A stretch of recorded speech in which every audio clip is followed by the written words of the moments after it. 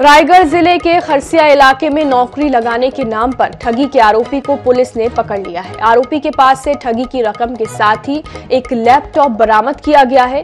आरोपी सारंगढ़ ज़िले के गो वामांठा का रहने वाला बताया जा रहा है। आरोपी ने मैट्रिमोनियल साइट से पीड़िता के बारे में जानकारी हासिल की।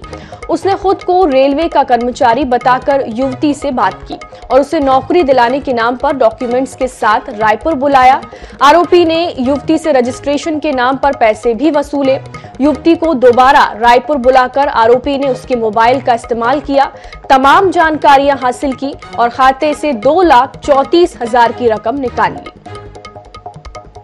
भुवनेश्वरी कुर्रे जो कि तेली कोटा खरसिया की रहने वाली हैं, उनके द्वारा एक शिकायत दी गई कि उसके साथ एक फ्रॉड हुआ है, दो लाख चौंतीस हज़ार रुपये का फ्रॉड हुआ है, और ये रायपुर में इनका होना पाया गया और इनके पास पूरे आठ, जो दो लाख चौंतीस हज़ार रुपया इन्होंने मतलब लिया था प्रार्थिया का वो पूरा जब्त किया गया।